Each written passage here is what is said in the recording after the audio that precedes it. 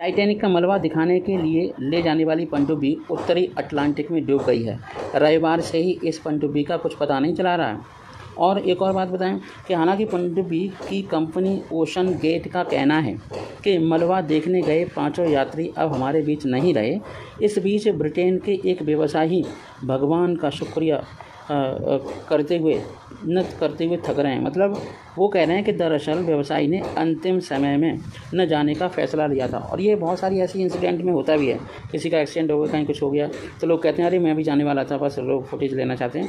बस मैं तो यही कहना चाहता हूँ कि जो लोग उसमें इस दर्दनाक हादसे में मारे गए तो उसके लिए मेरी सिंपैथी है।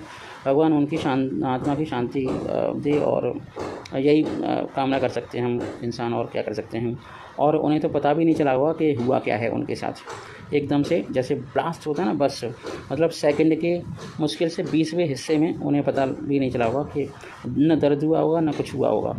और बस जैसे कोई ब्लास्ट होता है, सिकुड़ गई होगी या फैल गई होगी, पता नहीं। और इतने बड़े एरिया में उसका मलबा भी डिटेक्ट तो हो गया है, लेकिन उसे कलेक्ट करना काफ़ी मुश्किल भरा काम है, जोखिम भरा काम है। ब्रिटेन के डिजिटल मार्केटिंग व्यवसायी क्रिस ब्राउन अंतिम समय में टाइटैनिक के मलबे को देखने की साहसिक यात्रा अपना फैसला बदलने के लिए भाग्य को धन्यवाद दे रहे हैं। और मीडिया रिपोर्ट के अनुसार, ब्राउन अपने दोस्त और ब्रिटिश अरबपति हामिश हॉर्डिंग के साथ पनडुब्बी में जाने वाले थे। जैसा कि आप जानते हैं, हामिश हॉर्डिंग भी उस पनडुब्बी में गए थे। और वो भी, आप जा, आपको बता दें कि पनडुब्बी टाइटन पिछले छः दिनों से लापता है और इसका ऑक्सीजन भंडार ख़त्म हो चुका है। इसका संबंध ये हुआ, इसका रीज़न ये हुआ कि अमेरिकी तटरक्षक कोस्ट गार्ड कनाडाई सैन्य विमान, फ्रांसीसी जहाज़ और फ्रांसीसी एक टेली गाइडेड रोबोट दिन रात एक कर लोगों को बचाने का प्रयास कर रहे थे। लेकिन गुरुवार को एक सुखद, एक दुखद खबर सामने आई। बहुत ही बुरी खबर सामने आई कि टाइटैनिक जहाज़ का मलबा देखने गए यात्री अब हमारे बीच नहीं रहे। दरअसल पनडुब्बी अटलांटिक महासागर में अप्रैल 14 अप्रैल 1912 में डूबे टाइटैनिक जहाज़ के मलबे को दिखाने ले गई थी। और ये लोग चले गए, भगवान को प्यारे हो गए। भगवान उनकी आत्मा को शांति दे। पनडुब्बी में टाइटैनिक के अवशेष को देखने के लिए पाँच सदस्यों को ले जाने की क्षमता थी। इसमें सवार एक यात्री, ब्रिटिश व्यवसायी भी है। व्यापारी होमिश होर्डिंग 58 एविएटर, अंतरिक्ष पर्यटक और दुबई स्थित एक्शन एविएशन के सदस्य भी हैं। और हामिश हॉर्डिंग वही शख्स हैं जिन्होंने नामीबिया से चीता लाने की परियोजना में भारत सरकार का सहयोग किया था। काफ़ी जाबाज व्यक्ति था।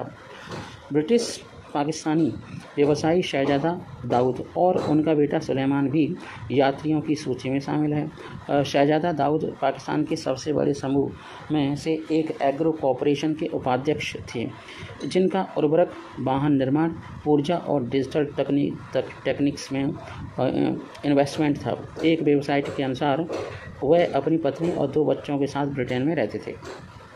मीडिया रिपोर्टों के अनुसार ओशन गेट के संस्थापक और मुख्य कार्यकारी अधिकारी सीईओ स्कॉट, स्कॉटन, रश और फ्रांसीसी पायलट पॉल हेनरी नार्गोलेट भी इस पनडुब्बी में सवार थे। Unfortunately all has been died क्यों नहीं? गए मलबा देखने क्राउन रिपोर्ट के अनुसार मरने वालों में एक और नाम शामिल हो सकता था, लेकिन गनीमत रही कि ब्रिटेन के व्यवसायी ने अंतिम समय में न जाने का फैसला लिया।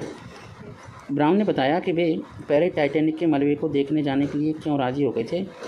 उन्होंने कहा कि एक आधुनिक साहसी व्यक्ति होने के नाते जो उस, उन स्थानों के बारे में अपने ज्ञान की सीमाओं को आगे बढ़ाने में दिलचस्पी रखता है है ना? वहाँ जाता है। टाइटैनिक लोगों के बीच में बहुत प्रसिद्ध है। हालाँकि टाइटैनिक सिर्फ़ एक प्रसिद्ध मलबा है, लेकिन इसे देखने के लिए उत्सुक था। इसे दिखाने के लिए ले जाने वाला यह अभियान ज्ञान को बढ़ाने के लिए था। इसलिए मैं सहमत भी हो गया था।